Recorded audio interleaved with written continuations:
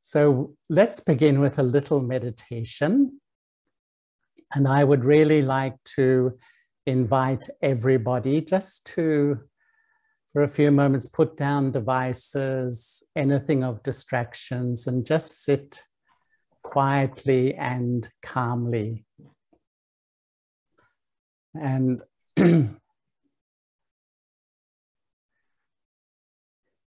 And please follow the thoughts which are suggested.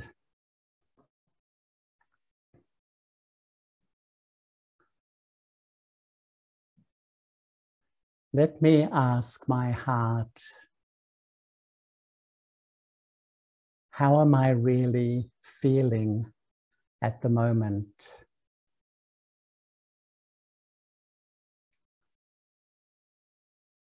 What is really happening inside of me. Spirituality is about caring for my inner world.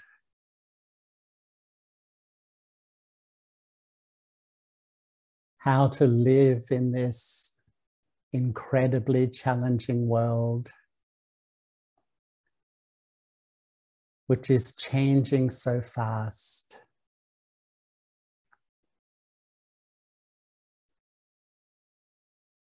How do I care for myself? How do I sustain myself?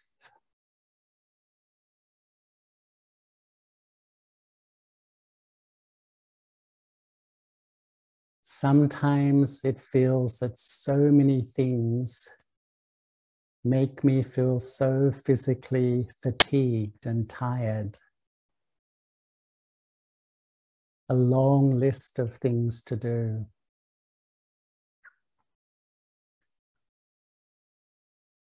And sometimes my energy is completely depleted.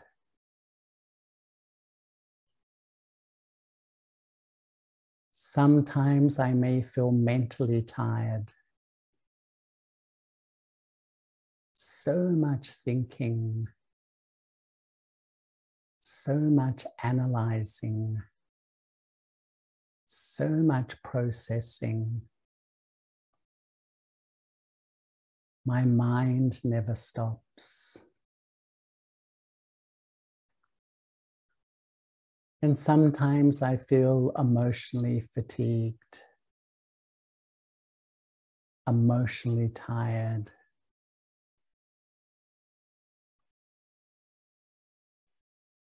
It seems relationships are so sensitive.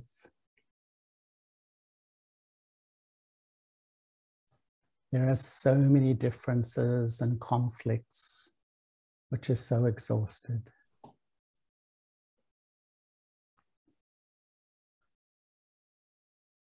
And even I can feel spiritually fatigued. Who am I really and where do I really belong?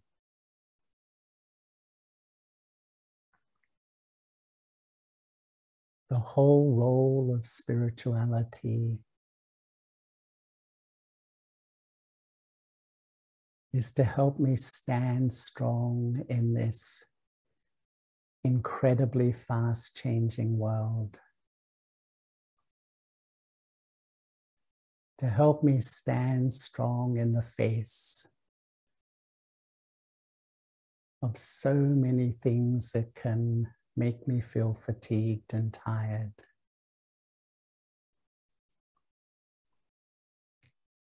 So let us begin this evening by just relaxing. Consciously feel your mind cool down. Just feel yourself letting go, relaxing, calming down. So, thank you so much, everybody. It's really lovely to be with you. And when I look at our world, I think what an extraordinary world we live in. 7.9 billion human beings, 195 countries, 6,500 spoken languages, 4,500 practiced religions. How extraordinary is our world!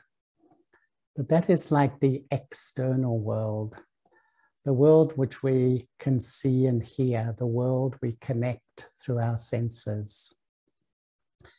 There's another world which is equally extraordinary, and that's our inner world.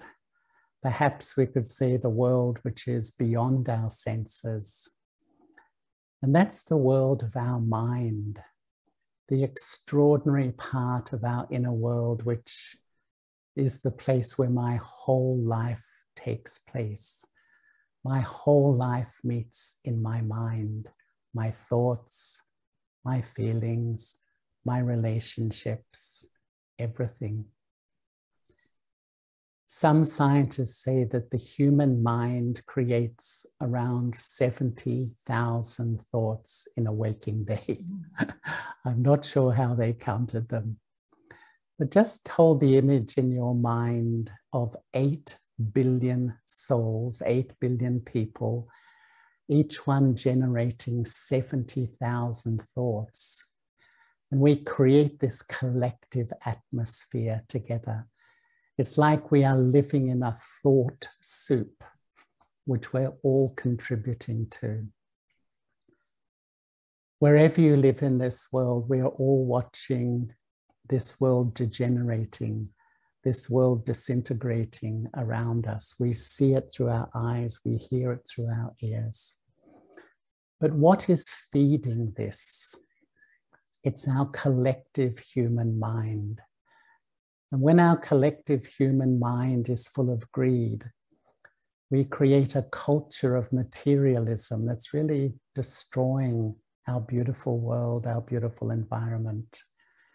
When the collective human mind is full of ego, we just have so much self interest. Just what do I need or my immediate family? And we lose the most human of qualities to have that love and compassion for each other. When the collective human mind is full of anger, we have so much conflict in our world. And when the collective human mind is so exhausted, it feels there's a heaviness. And many of us feel there's like a, a heaviness in this world at the moment. It seems that there's a crisis in the soul of humanity. And when this crisis bubbles to the surface, we label it. In the 80s and the 90s, we used to call it stress or anxiety. And then we began to call it depression. But it seems to me that there's like a, a deep hopelessness in the human spirit at the moment that makes us feel so depleted of energy, so fatigued, and so exhausted. And for many of us, it seems that the negative events in our world just never stop. And I can feel so emotionally drained and worn out because everything is so complicated and complex. And even there are so many difference, differences and conflicts with even those I'm closest to. And the result is like a a hopelessness about the self and about the world. And this creates such a deep sort of sense of tiredness, a lack of ability to face anything. You know, sometimes I reflect on these things myself and why is it that there's an epidemic of this hopelessness, this fatigue, in our beautiful world, in our incredibly beautiful world. There is so much beauty left. And yet it seems that so many of us are faced with these feelings. On the surface, it is such a competitive world where we're always trying to prove ourselves. It's such a judgmental world. do you find sometimes whatever you do, you're judged, you're labeled, you're criticized? But if we go a little bit deeper, it's like there's no meaning or purpose in life today. Is life really about building up my bank account? Is life really about a big position in a big organization? Is that, is that why I'm here? And yet, even if I explore even deeper, there's a lack of true love and belonging, which is to me the absolute beauty of human life, which gives us so much energy and enthusiasm. And probably if I go to the core of this epidemic of hopelessness and tiredness, what is sitting there? It's that I think we've based our lives on falsehood. And that means that we base our lives on everything temporary. Nothing is permanent. It's a temporary jobs and temporary wealth and temporary positions and temporary relationships and temporary health. And even if I can say a temporary body. And this creates just such a sense of fear and insecurity, which seems to be driving me driving everyone and creating this thought soup that we live in this world, this thought soup of exhaustion. It just all feels too much. And I wonder how you feel when you see all of this. How do you respond? because my experience is so many people are reevaluating life. What is really important at the moment in life? And recently I've been conducting groups of people and I ask them, what's most important for you? And you know what most people say? Inner strength, inner power to stand strong, to stand strong. And what they say is, we know what we want to change. I can see in my personality what I want to change. I know how I want to be. I know I want to be more loving and kind and respectful. I know what I want to let go. I want to let go of my negativity, etc. But the big question is really what is really, you know, where do I get the strength? Where do I get the inner power? How can I really stand strong in such a challenging world? where everything is coming at me all the time. And to me, standing strong is at the heart of really a spiritual practice. It's really about what meditation is. and it's slowly, with wisdom and love, accumulating an inner strength to take responsibility for how I feel and stop projecting and blaming others. To really begin to have the strength to connect with my true self and begin to know who I am, be honest with myself, and stop denying and really begin to see my beauty as well as the things I need to change. Inner strength is really something which is so important at the moment.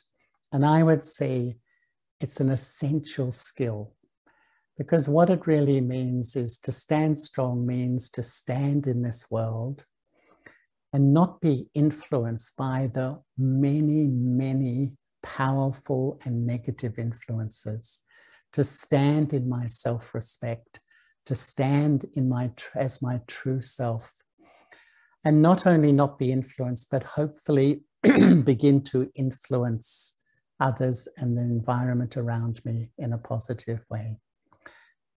And when I now look at our world, I come to three conclusions. Seeing the world now in 2022, my first conclusion is there's no turning back. Some people want to wind back the clock you know, go back to the good old days. I don't think it's going to happen. What we're going to see is more instability, more economic upheaval, more social transitions, more and more and more rapid change. And so, my second conclusion is we need a new approach to life. Often we just, you know, do the same things because if I don't develop a new approach to life, all this change keeps knocking me over. I get up and then I'm knocked over again by this thing or that thing. And one thing which had a huge influence on my life, and often it's the most simple things, was when someone asked me the question, What do you have control over?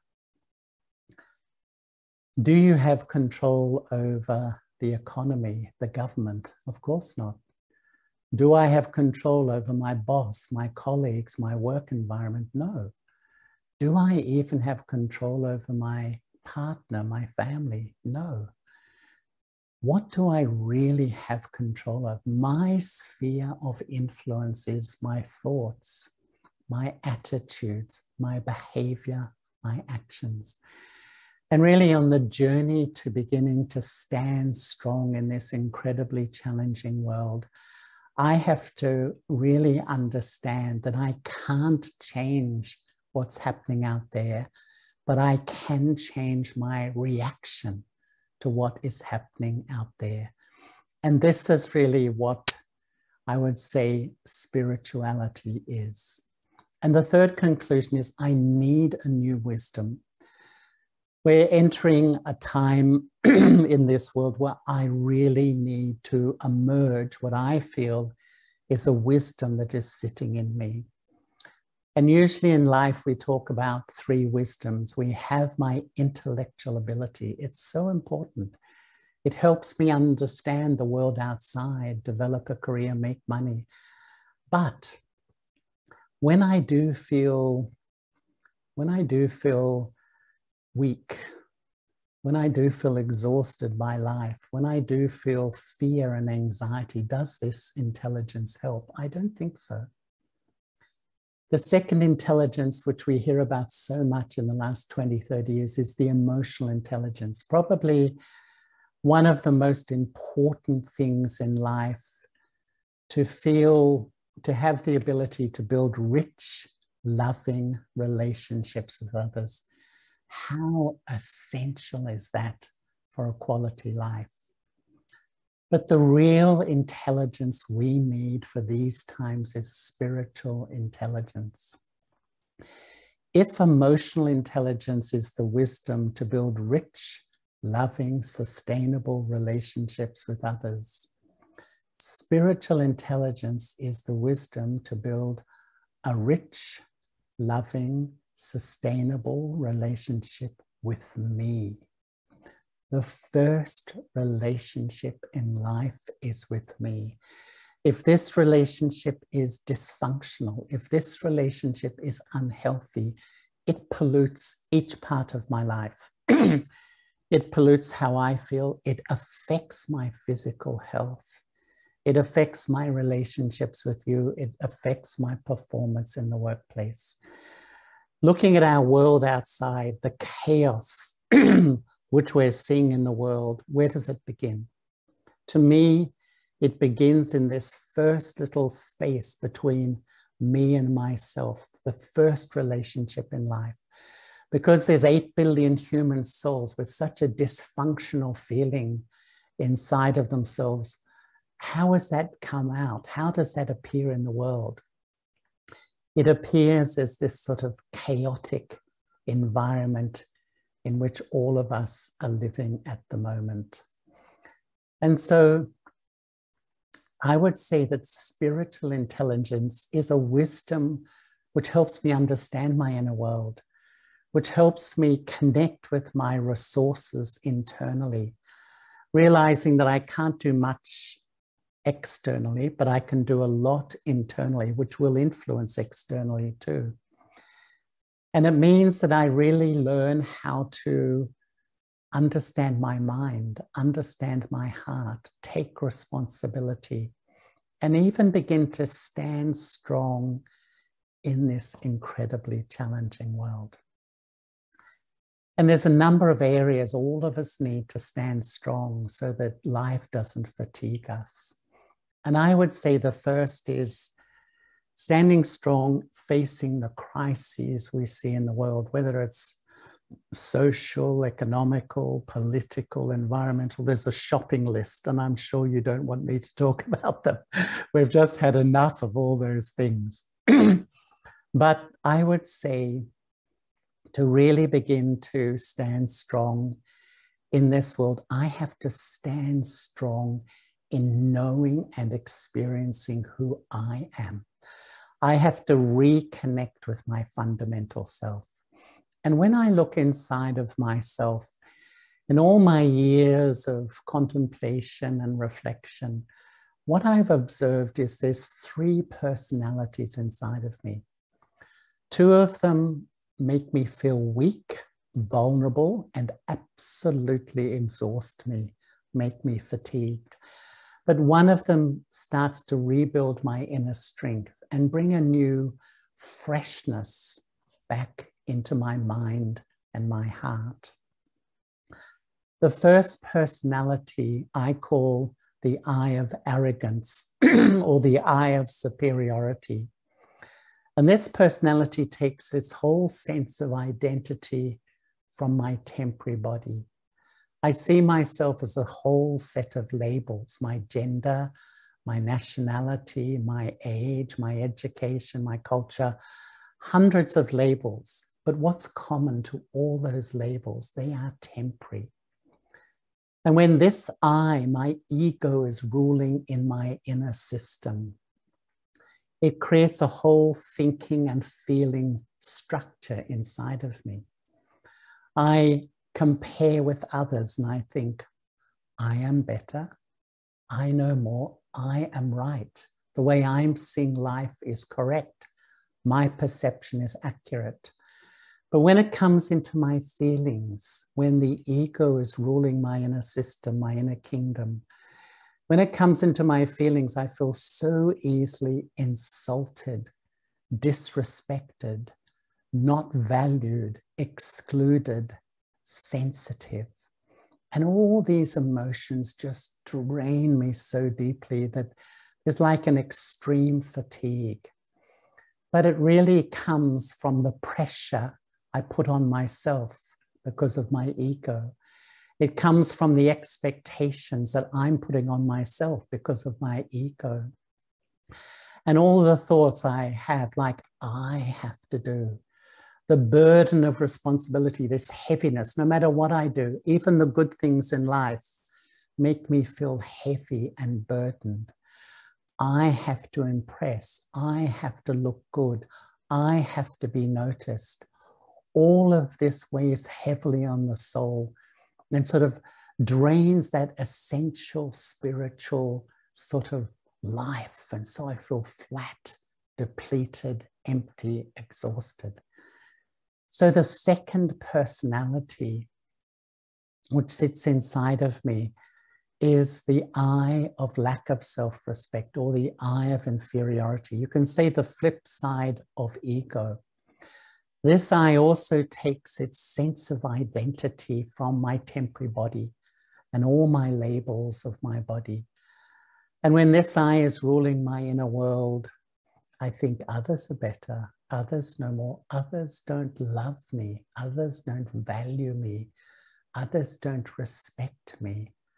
And when it comes into my feelings, when my this inverted ego, this lack of self respect, that's when I feel hopeless about myself, inadequate, not good enough, inferior, I would say depressed.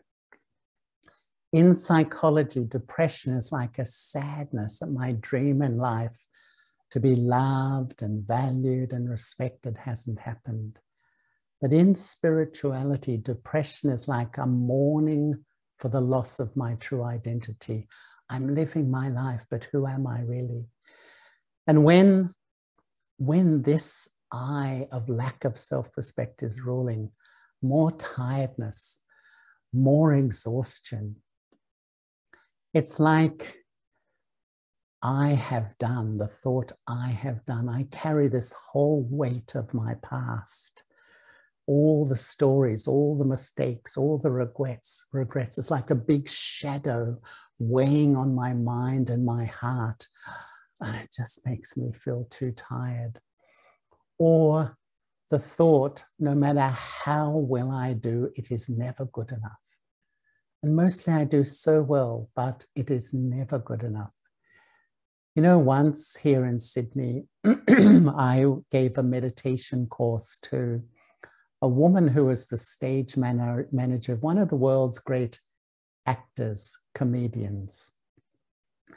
And she was saying to me that he will finish a show with two, three, five thousand people, and they love him. And everyone is saying, encore, encore, more, more. And every night, she said, after five encores, 10 encores, he comes backstage and he says, Was I good enough? Did they like me? you know, they loved him. You know the feeling, no matter how well you do, there's always that self doubt. It's not good enough, that self criticism. And what happens is often we swing between the ego of superiority and the ego of inferiority up, down, up, down, the highs, the lows, the emotional roller coaster, which once again depletes that life force and that real enthusiasm for life. The third eye, I can say, is the original I, the permanent self. I, the soul. The soul is a wonder, an absolute wonder, because the soul exists, but the soul has no size. It has no length, breadth, or width. I once met a scientist who was like a Nobel Prize winner, and he said to me, The ultimate unknowable for science is a point because it's beyond matter.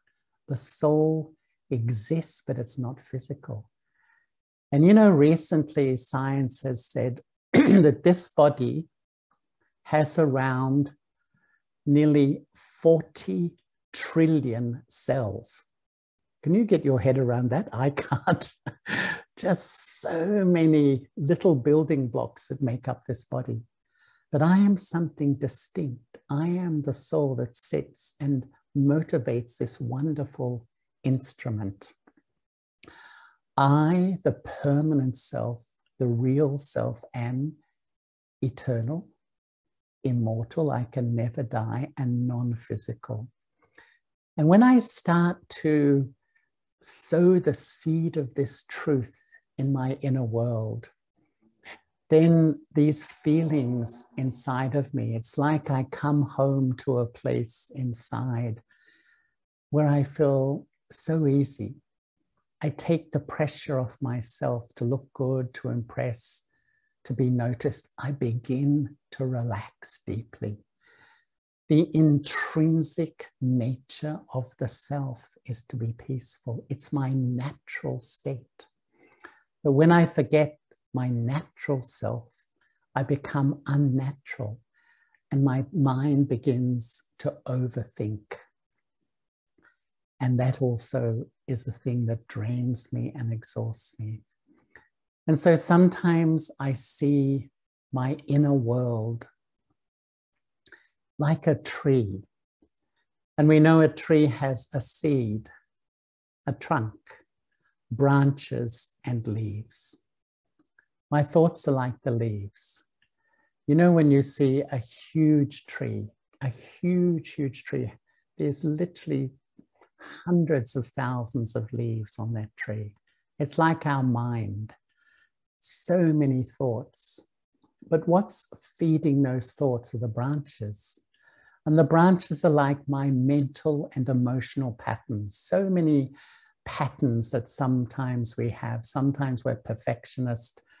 Sometimes we have, you know, a mental pattern, a bit paranoia, always fearing or reading things into situations or what, what people are doing. So many mental and emotional patterns. But what's feeding the branches is the trunk. The trunk is like my subconscious, an extraordinary part of my inner anatomy, where I carry all the the impressions, the experiences of my past. But what is feeding the trunk, the seed, the roots? The seed of my inner world is my sense of identity, my sense of self, my sense of who I am.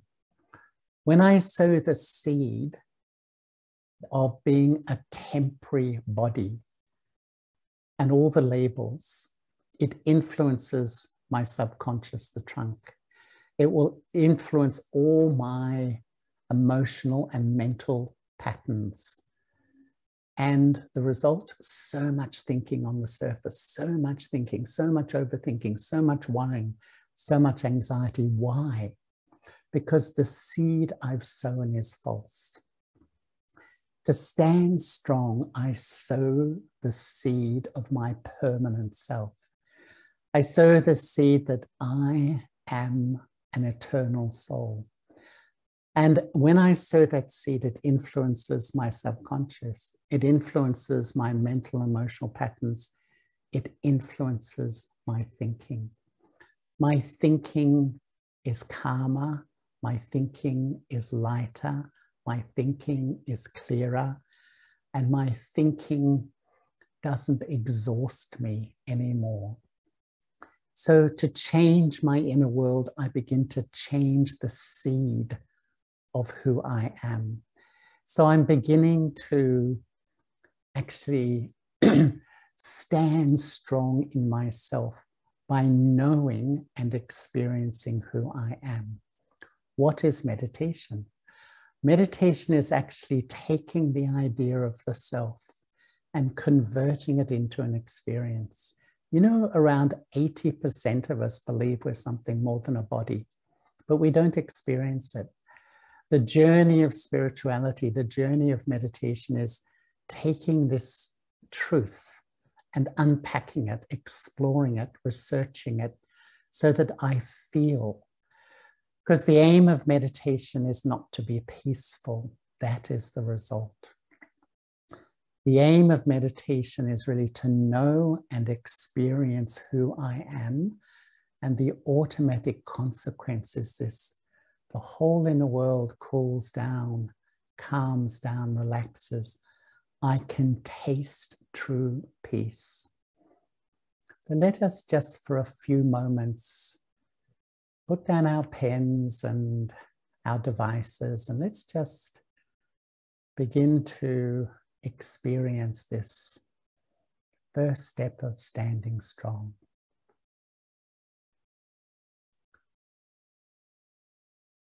Let me visualize myself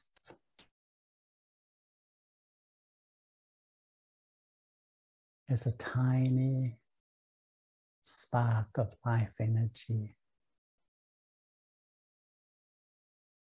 sitting in the front of the brain in the center of the forehead.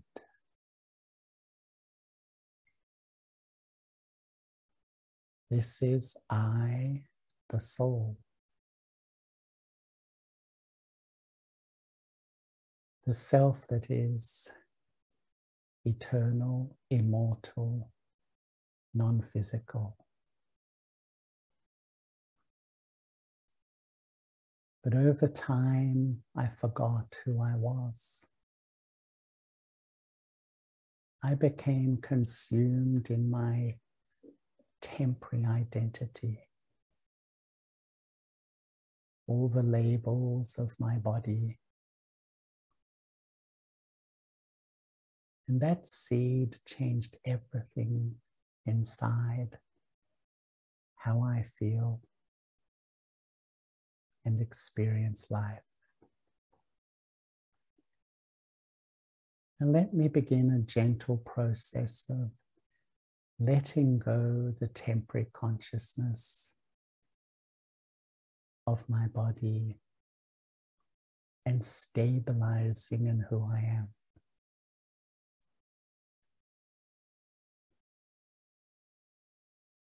Let me let go identifying with what I do. My role as a parent, a partner, a colleague,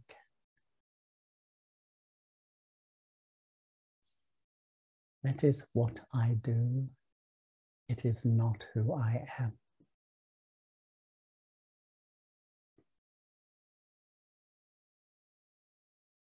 Now just lightly observe the image of your body in the eye of your mind. Observe all the labels your body represents, your gender, your nationality, your education, your religion, and more. Yes, my body is the wonderful instrument that I express through in the dance of life. But I am not all these labels. I am something more than these labels.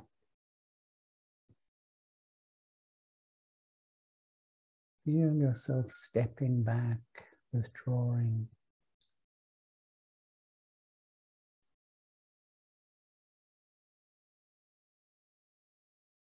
And feel yourself sitting so lightly in the forehead.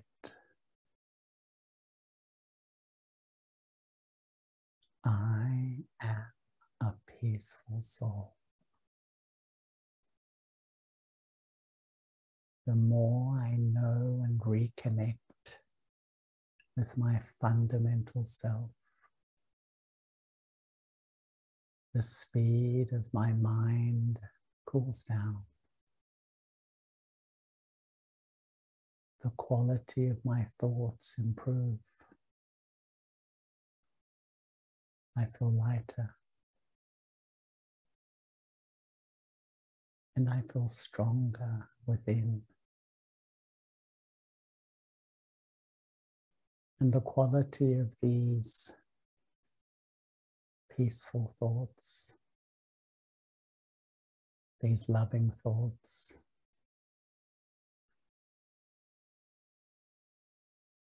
rekindles my enthusiasm.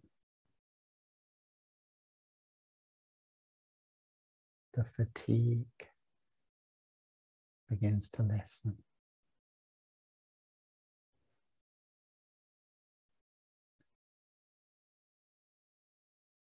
And when I begin to, thank you everybody, when I begin to really stand strong in my true self. You know, my own experience was a massive shift in the way I saw myself, the way I saw others, the way I saw the world.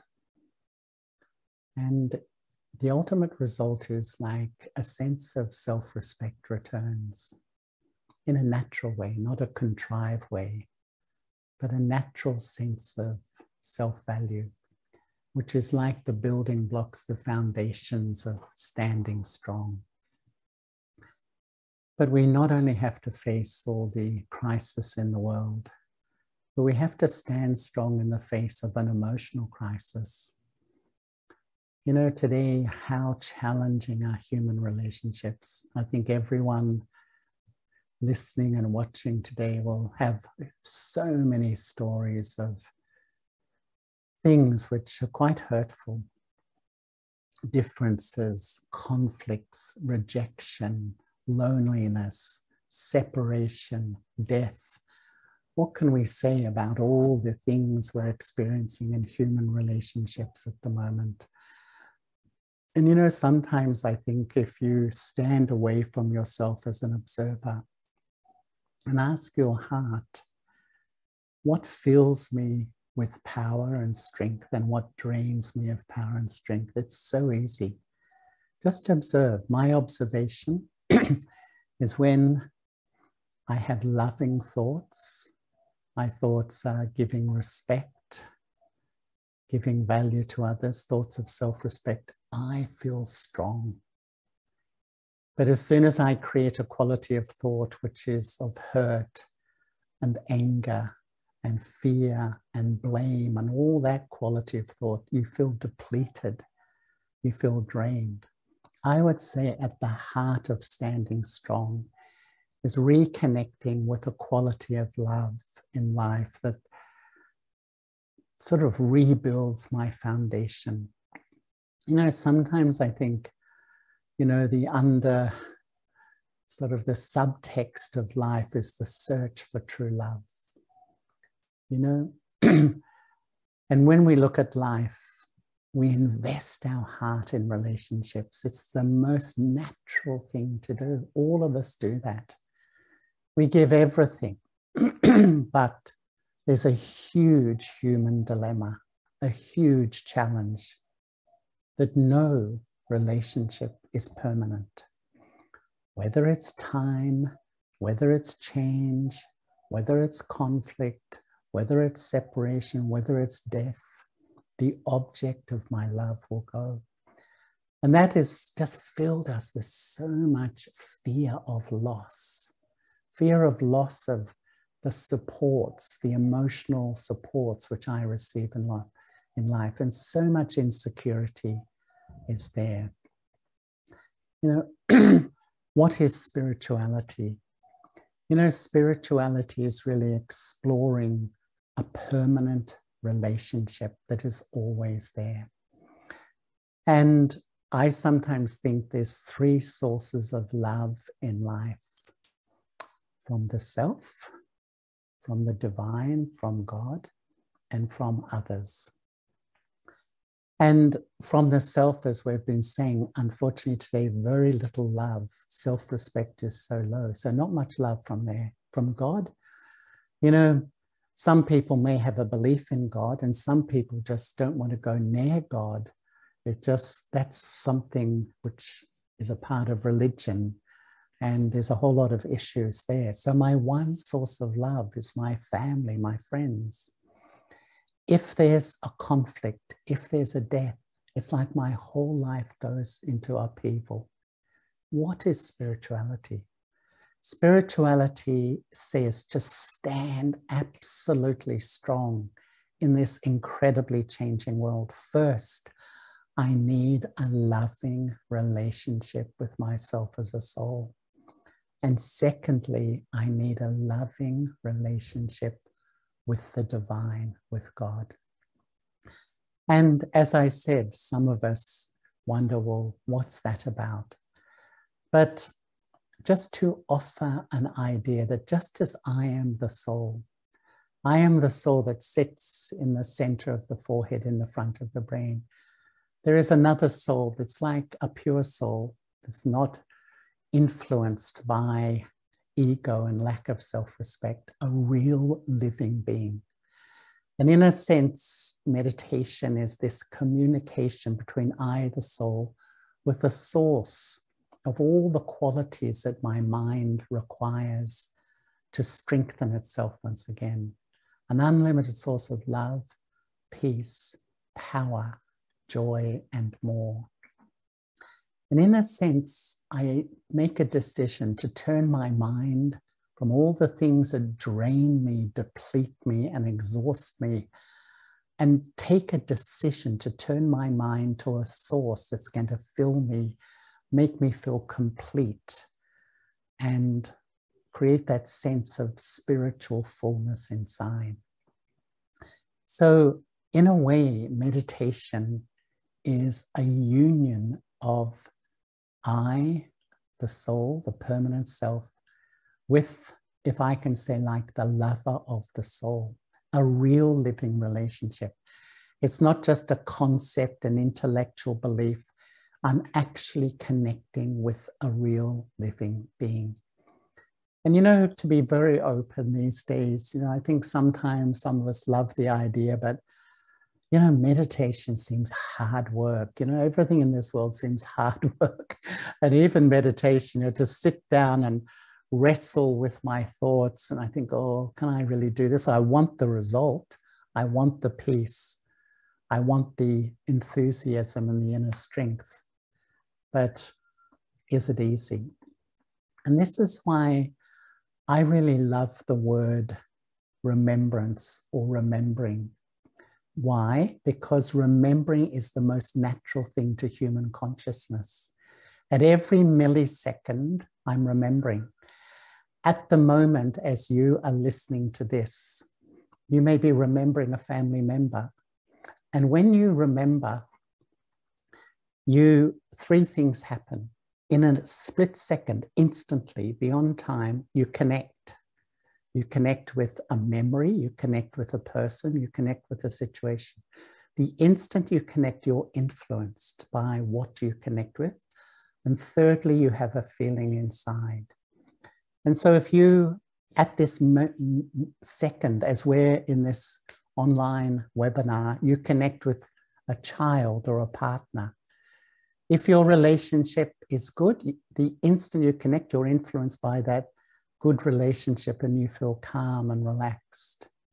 But if you connect with somebody and that subtle thread of your mind connects with that person, and you're in conflict, you're not getting on, instantly you feel heavy, you feel down, you feel a bit upset or even angry. And that's floods through your inner mind. And the way I see life, it's almost like every millisecond I'm plugging in there. I'm influenced by that. I download that vibe. I'm plugging in here. I'm influenced by that. I download that vibe. Hence my inner world so up and down. And hence this sort of this incredible fatigue what really spirituality says is to remember the divine so that the subtle thread connects with a source, a real source, a living source, a relationship. Relationship is the most natural thing. It's in our DNA to have relationship. And wherever the heart goes, the mind will follow. There's a natural concentration. And when I connect with a source, I'm influenced by that love, by that peace, by that lightness. And I live stream that divine energy, that pure energy into my inner world. And it's almost like I begin, to, you know, sometimes I think if I'm not happy, if I'm not feeling good, there's one question to ask myself What have I been remembering? What have I plugged my head in? Sometimes I plug my head into a memory that's negative.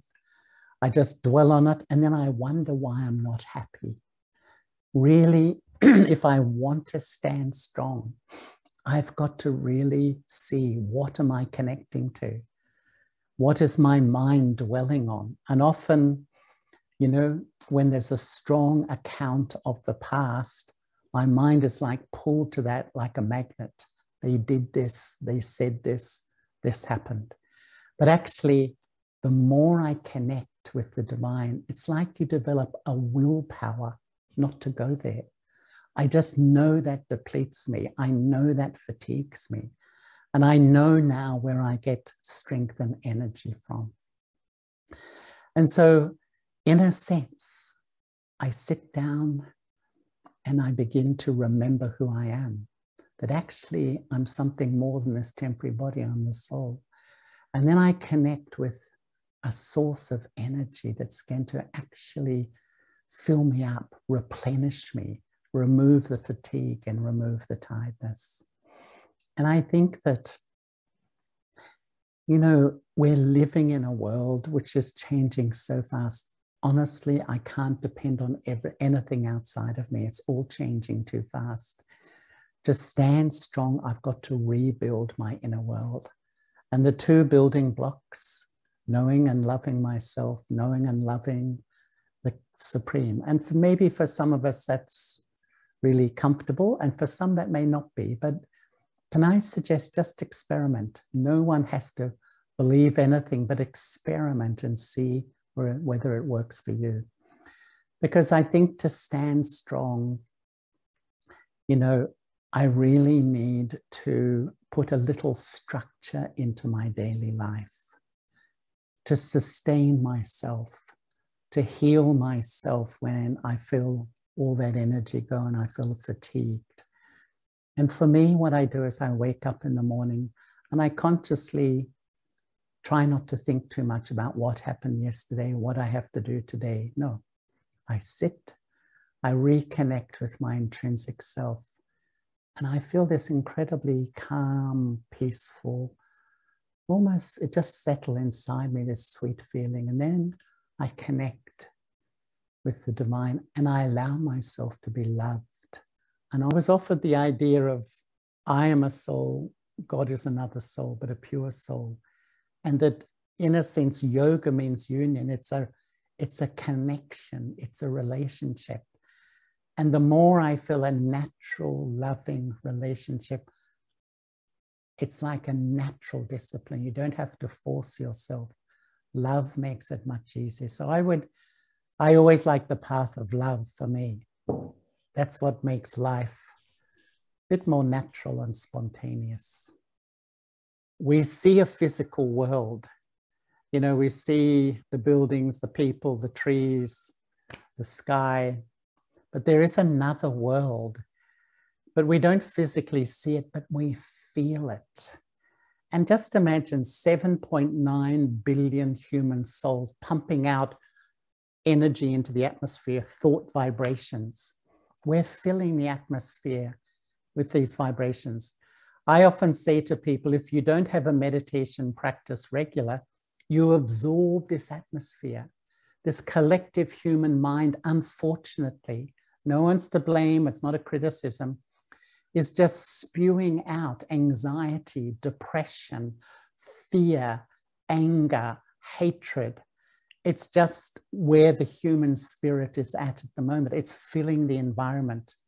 Unless I have a spiritual practice and I take back the authority of my mind, in other words, I start to you know, rule my inner kingdom, I absorb all these vibrations. And then I, I wake up in the morning and I wonder why I feel flat.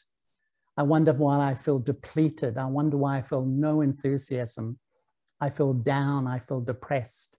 Because unfortunately, it's like a, it's like a, a cloud over the whole world. The collective human mind is feeding the atmosphere in the world.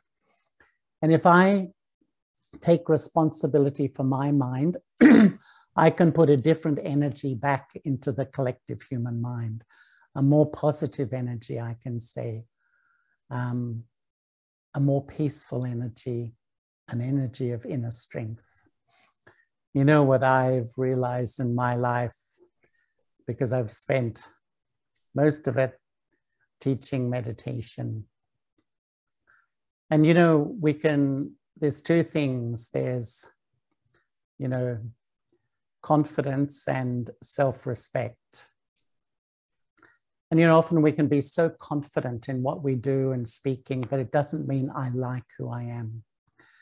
And i would say virtually all human beings suffer from this challenge of feeling okay whether it's my childhood whether it's my youth my adolescence whenever I we've lost our self-value, this is the absolute seed of all my issues.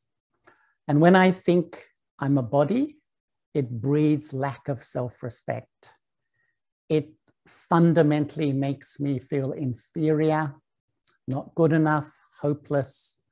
But actually, when I start to practice, not just believe, practice when I meditate and then during the day that I'm actually a soul. And when I meet others, they're souls too. But as I start to do that, step by step, I rebuild a stable sense of self value, a stable sense of self respect. And this is really, I would say, spiritual learning. The learning in the world out there is we collect information. We know so much information. Spiritual education is taking one idea, who am I, going deeper and deeper and deeper. The deeper I go, the more I grow my self respect back. I have to rebuild it step by step. This is the spiritual journey. It's a lifelong learning. And I can say from my heart, when I started, I was, I think, like most people, you know, lacking self respect, often feeling quite inferior, often feeling not good enough. But as I've just had a consistent practice, I can say from my heart, I feel quite stable. And, you know, I have this little thing for myself that, you know, if I'm criticized, that doesn't matter, it's life.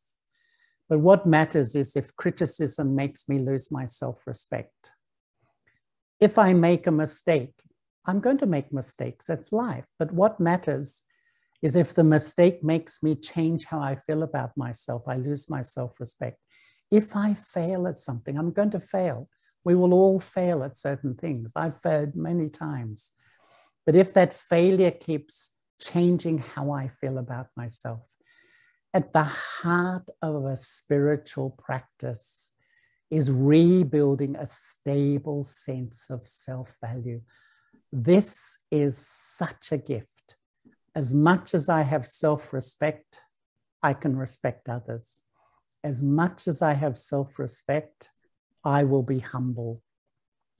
As much as I have self respect, I will be loving and others will love me. Really, it is the great gift, but you need to give it time. But self respect is the gift of a spiritual practice.